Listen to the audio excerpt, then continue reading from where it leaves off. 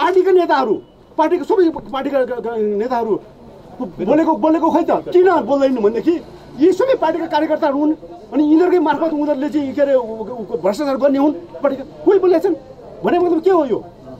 लुटतन्त्र मचाइरहेको छ यो के अरे उसले। र यो त्यो मात्रै होइन कि यो चाहिँ मर्डर हो यो।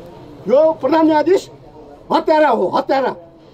भनेपछि प्रधान न्यायाधीश अनि यो यो स्थितिमा ठुल्ठुला पार्टीका के नेताहरू चुपलाएर बस्छन्। भने मतलब के भनेदेखि यिनीहरू पनि लुटतन्त्रमा लुटतन्त्रमा त्यत्तिकै सहभागी छन् र उसलाई उसलाई चाहिँ के अरे त्यो चेको दिइरहेका छन् सर लुटतन्त्र गर्नलाई। अबदेखि गलत होइन कि? अब सकारात्मक भने भने भनेको सकारात्मक भनेको उसलाई उसले गरेको जुन अपराध छ नि अपराध होइन उसले जे चाहन्छ त्यही भन्नु भनेको। भनिसकेपछि एउटा मिडिया एउटा चाहिँ व्यवस्थापिका के त्यसले जनतालाई धोका दियो कार्यपालिकाले जनतालाई धोका दियो त्यसपछि के अरे चाहिँ न्यायपालिकाले जनतालाई धोका दियो भने नि जनतालाई अहिले अलिकति सुसूचित गरेर राख्ने भनेको चाहिँ के अरे संविधानको भनौँ न राज्यको चौथो अङ्ग भनेको मिडियालाई मिडियालाई पनि थ्रेटिङ दिइरहेको छ। अब थ्रेटिङ दिने कुरामा चाहिँ मलाई पनि म ऊ भइसकेपछि म हिरासतमा आइसकेपछि मलाई पनि थ्रेटिङ दियो।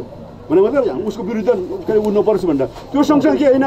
हाम्रो वरिष्ठ अधिवक्ता सुरेन्द्र भण्डारीलाई ज्यान मार्ने धम्की धम्की दिएको छ हिजो ज्यान मार्ने धम्की दिएको छ कसले?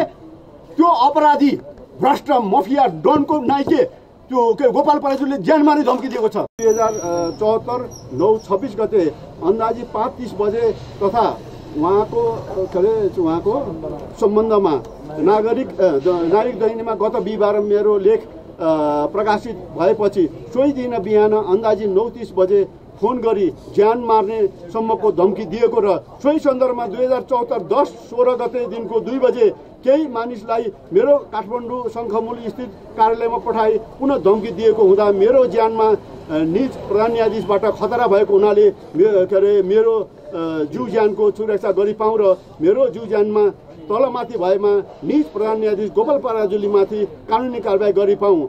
नौ आठ पाँच दुई शून्य तिन एक छ छ छ नम्बरबाट फोन गरी धम्काएको बेहोरा निवेदन गर्दछु।